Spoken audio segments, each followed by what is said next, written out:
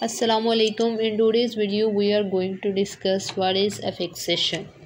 New words new lexical items को form करने के लिए एक तरीका एफिक्सेशन का इस्तेमाल किया जाता है जिसके ज़रिए से न्यू वर्ड्स को फॉर्म किया जाता है दो तरह से फिक्सेशन की जाती है। प्री फिक्सेस इसकी दो टाइप्स कह सकते हैं होती हैं एंड सोफिक्सेस प्री फिक्सेस में वर्ड्स के शुरू में अल्फाज कुछ लगा दिए जाते हैं, कुछ टर्म्स ऐड कर दी जाती हैं, जिससे एक न्यू वर्ड फॉर्म हो जाता है और न्यू मीनिंग देता है। जैसे डी सेल्फ एंटी वर्ड्स जो है, अगर फेंस को डी को फेंस के आगे लगाएँ तो defence self service and T thesis यानी कि ये प्रीफिक्सेस थे और इनको दूसरे वर्ड्स के साथ जब हमने दूसरे वर्ड से पहले फॉर्म किया तो एक नया वर्ड बन गया।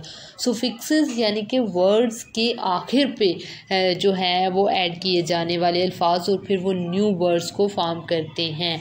जैसे कि शन इंट्रोडक्शन में T I O N I S E जैसे कि डिफरेंट वर्ड्स में उसको इस्तेमाल किया जाता है। अवेलोजाइज फॉर एग्ज़ाम्पल तो फिक्सेशन से मुराद ये है कि न्यू वर्ड्स किस तरह फॉर्म किए जाते हैं, दो इसमें तरीके अपनाए जाते हैं।